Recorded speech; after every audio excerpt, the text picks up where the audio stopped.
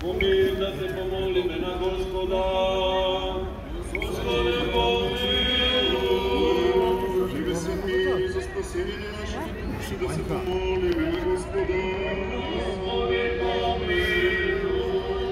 Мир во целиот свет за благословство на светите Божји цркви и за соединување на сите да се помолиме на Господа. Господи, Преградките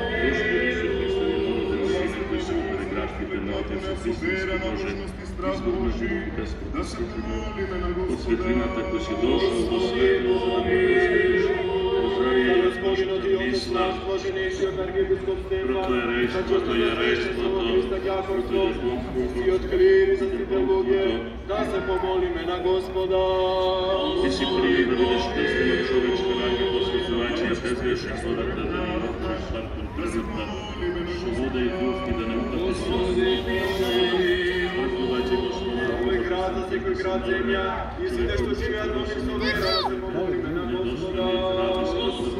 помилуй. Дарна Твојата за Софија, Розата што ни пришла и на За мирни времења да По се Твојата помолиме благост, на благопријатна Господа. Твоја благословена, Господи, помилуй. Патуваат, боледуваат, страдаат, за заробеници и за нивно спасение да се помолиме на Господа.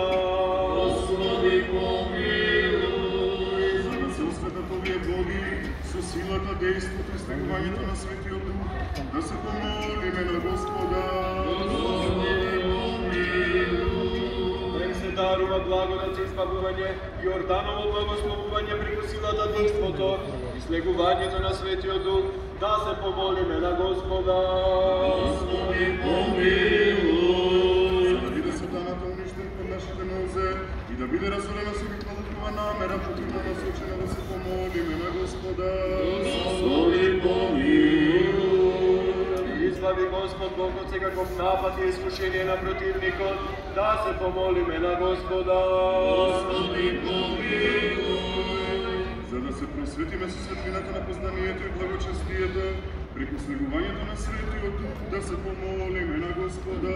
Господи, помилуй. Господ Бог да испрати благословување Јорданово, да ги освети овие води, да се помолиме на Господа.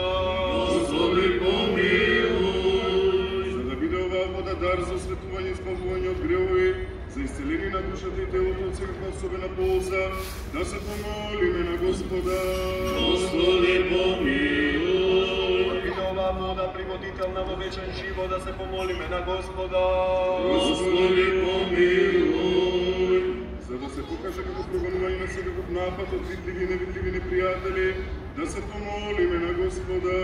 Господи, помилуй. За осветување на домовите на оние што црпат и зимаат од неа, да се помолиме на Господа. Господи, помилуй. За да биде за очистување на душите и телата за сите оние што со вера црпат од неа и ја употребуваат, да се помолиме на Господа.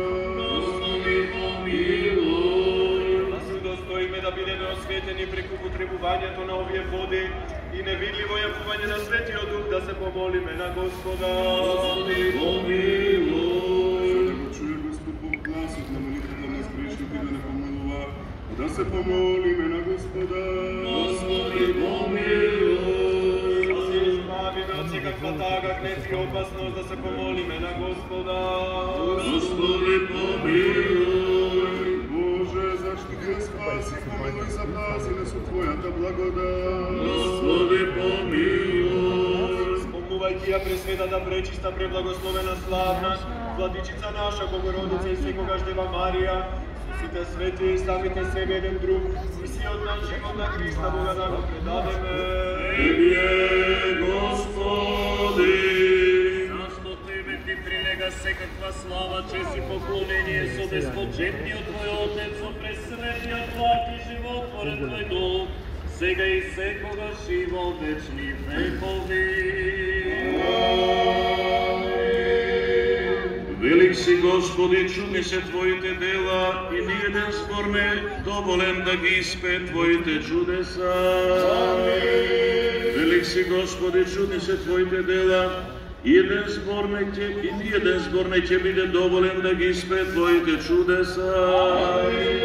Велик си Господи, чуди се Твоите дела, и ни еден збор не ќе биде доволен да ги испе Твоите чудеса. Зашто ти доброволно се си привел од ништо во битие, со Твојата сила ги држиш тварите, својата промисла го правуваш светот, Ти си го создал светот од четири стихи, кругот на годината си го венчал со четири времења, од Тебе треперат сите духовни сили, Тебе те воспева сонцето, Тебе те слави месечината, при Тебе се звездите, Тебе те слуша светлината, од Тебе треперат бездните, Тебе те служат, Ти служат изворите, Ти си го расширил небото како кожа и си утврдил земјата на води, Ти си го оградил морето со песок и си го излеал воздухот за дишење.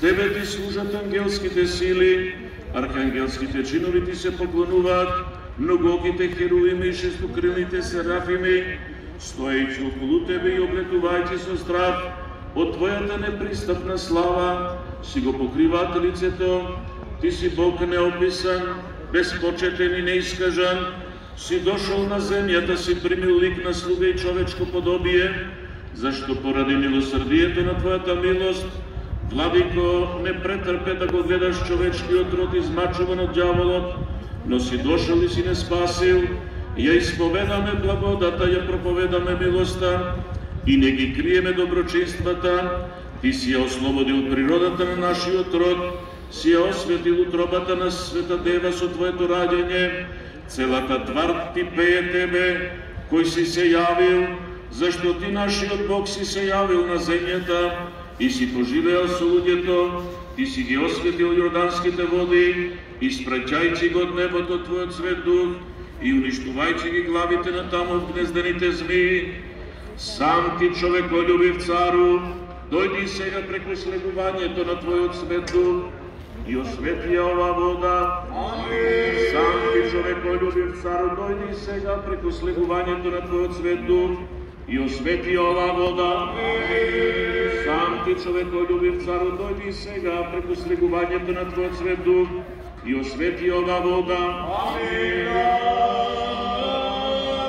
Дај благодат на избавување и благословување Јорданово, направија извор на чистота дар за осветување, за ослободување од гревовите, за иселение од болки, да биде убиствена за бесовите, непристапна за противничките сили, исполнета со ангелска сила, па сите кои трпат и се причестуваат од неа, да ја има за очистување на душите и телата, за исцеление од болки, за, ос... за осветување на домовите и за секаква особена полза, зашто ти си Бог наш, кој со вода и дух си обновил светвената, од грех наша природа, ти си нашиот Бог, кој со вода го потопи гревот во времето на Ное, ти си нашиот Бог кој, кој преку Мојсија го преведе еврејскиот народ низ морето и го ослободи од фараоновото робство. Ти си нашиот Бог кој го раскрши каменот во пустината и потекоа води и потоците се наводнија и ги насити твоите жедни луѓе. Сами сега, Владико, осветија ова вода со Твојот свет дух. Сами сега, Владико, осветија ова вода со Твојот свет дух. Сами сега, Владико, осветија ова вода со Твојот свет дух. Амин. дај на сите што се допираат до неа или се причестуваат и мијат, осветување, здравје, очистување и благословување.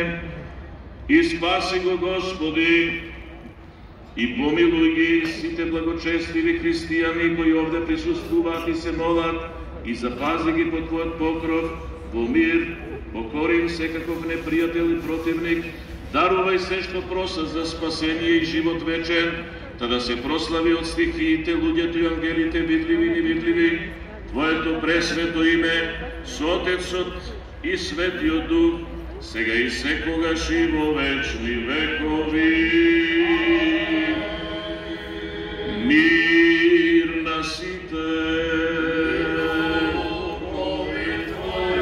Наклони го, Господи, Твоето и послушање Ти кој си благоволил да се крстиш во Јордан и си ги благословил водите.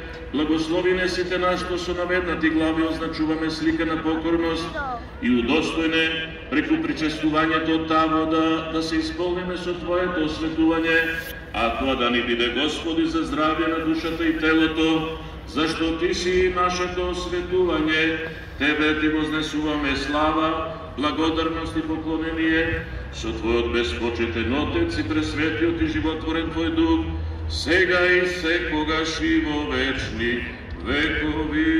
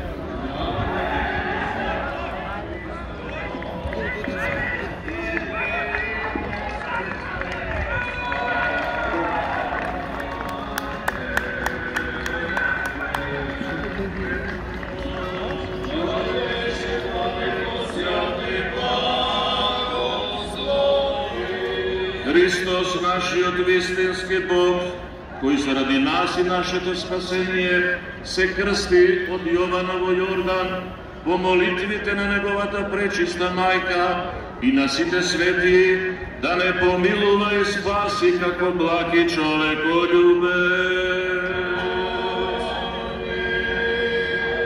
По молитвите на светите Отци наши, Господи Исусе Христе Боже наш, смилувај се на нас.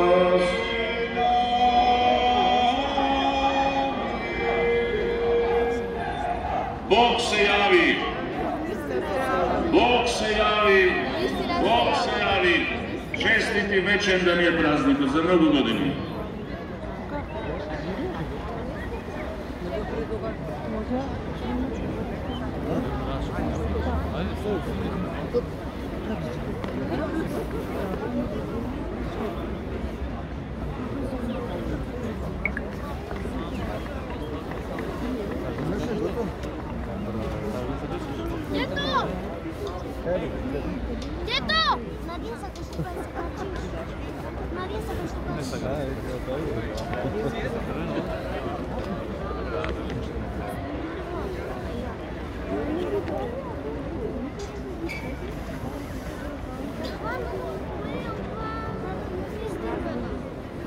Hvala